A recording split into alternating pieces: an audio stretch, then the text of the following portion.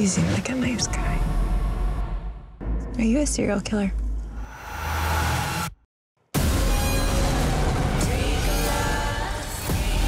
Eno največjih filmskih presenečenj tega leta.